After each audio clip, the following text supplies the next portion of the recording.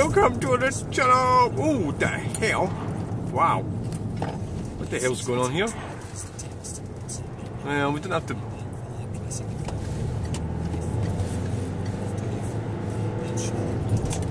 Yeah, well, um, I wasn't exactly sure what, why that car was braking. Um,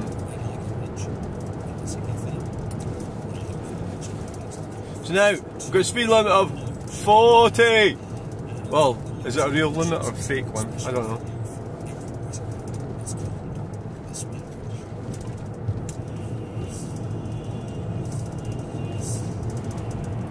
Oh wow, oh wow, oh wow.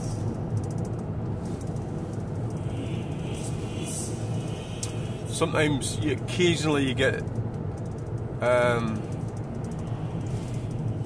not often, get coppers. Holy moly! Occasionally. This used to be a 40 here, yeah, and then back there was a 50, they lowered it all down. Because uh, Scottish Greens don't want us to see. So what's going on? Well, I've been I've been arguing with Trevor Ferguson again. Uh, I think I'm, he's he's lashing out, and I thought I thought he was getting less abusive. Um, and then he called he called me an imbecile at the end of the comment. He's, he's, so I just said to him, "You're just projecting yourself." This is about so the whole thing about the Imane Khelif thing is so why so he says I'm fanatical about it. I'm not. I'm standing up for. I believe it. I'm standing up for the truth. I believe that Imane Khelif is. First and foremost, you can get in a big you can get into a big load of different things when you start talking about sports, you know, Olympics and everything. But I think she's a woman, and I think it was a false narrative to. It was like a witch hunt that they were, that J.K. Rowling embarked upon to make out to to to have people believe that she was a trans woman, which is a man who became a woman. Well, some, some, you know, the terminology is somebody who's born male and is now recognised as female by the um, the system, right? So, you know, I believe that was the narrative, and that's why I'm not fanatical about sport, and I don't want to get drawn in arguments about sport, about also the areas of it, because that is not what this is about.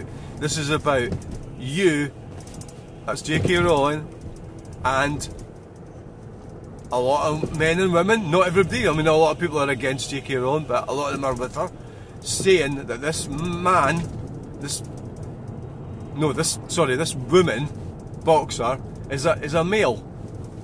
And you're adamant, you, you don't know.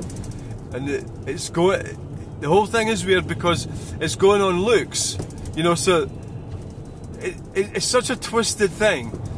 And so, the, so you get people saying, oh, you, so there's a man beating a woman. But what's boxing for? You know, it's like. but, and I'm not even interested in boxing. I'm not interested in that type of sport. And but I recognise that boxing is two individuals going in a, a, ring and, and, and hitting each other. Isn't that what it is? Is that what it is?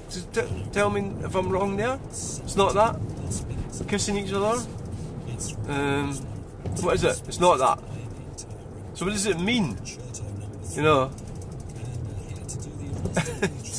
it's, just um, such a fucking strange argument to be getting embarked upon. Um,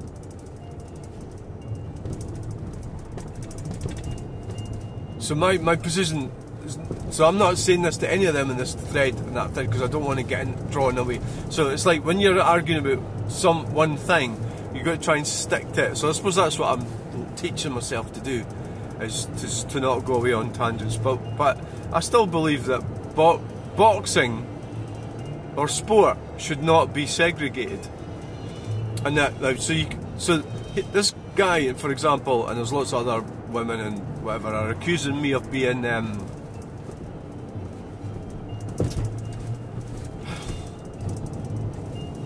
Like it's all, it's all it's, it's sort of turned around. So put it this way: if you claim that women are not capable of, of competing, you're admitting that they're not they're not up to it. You know, can't you just say that? They're not up to competing with men in boxing. But how can they, like, how can they get better if if if, if the lid is put, the glass ceiling? They talk about glass ceiling quite a lot uh, in the pay, in pay structures. Glass ceiling. So they're actually enforcing a glass ceiling on themselves in boxing, so that Imane Khelif perhaps would like to go and fight men, right? But she can't because she's got to fight women because she's a woman, right? So what I'm trying to say is, right? Okay, let's do an analogy here. As an artist, I my art got better when I went to college and university and everything, and and landed up creating art with people who knew more about art than me. So if I just stayed in my own bedroom and done my own art, yeah, it's brilliant art, but it wouldn't have developed the same because I, I wasn't being challenged. Right? So it's maybe not the best analogy, but it is an analogy of sorts. So the fact that if you go boxing and you're just boxing against people who are not that brilliant, i.e., women, because they're not good at boxing, according to this guy, Trevor Ferguson, who's saying that, that, that they can't compete with men, then how are they going to be able to compete with men? So they're just going to keep sports segregated. So what's the point in being a boxer? So there must be. I, am not even interested in, in sport, but what about motor racing? What about golfing? What does handicap mean? You know, I'm, I'm asking that sort of rhetorical. I, I sort of know what it means. So why can't they do that? Or why can't you have the best, how about, the best woman boxer? Or something like that. How does that work? Mm. So they, they, use the biological argument about, you know, about the strength of your arm and stuff and, you know, you know it does do your head in. I just think women should be at home having babies. You know, go fucking home, have some babies, and fucking shut up. But it's too late for me. I can't. I'm an operation. I can't. I can't. I don't have any fucking. I don't have the equipment to do it. Sorry. Thank fuck for that for me, because I already had five. Right. And that's it. It's over for me. I tried my best. I, I was using. I tried the best of what I had at the time, right? And if it wasn't much good. That was the best that I could muster at the time, and that's the way my that's the way life is. That was the best I could come up with. I look back on it; it was pretty poor effort, you know, or whatever, but it was the best. It was the best I could come up with, and um, it was all I knew at the time. I know differently now. I know more, but it's too late.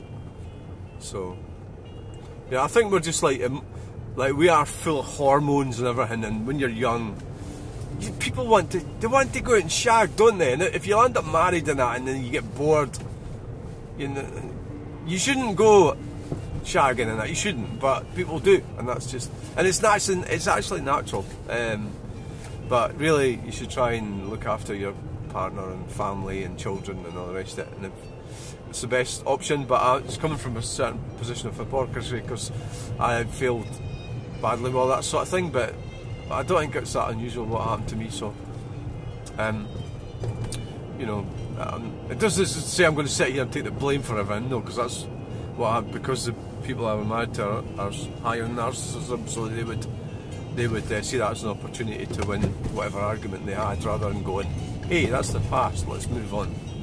You know, which card didn't indicate to come off. Never mind. So I hope that clears all that up. So thanks for watching. Please like, share and subscribe. I think that we'll have a look at that video and see what I look like these cars overtaking. Look quite exciting. Um, so thanks for watching. Bye! Bye!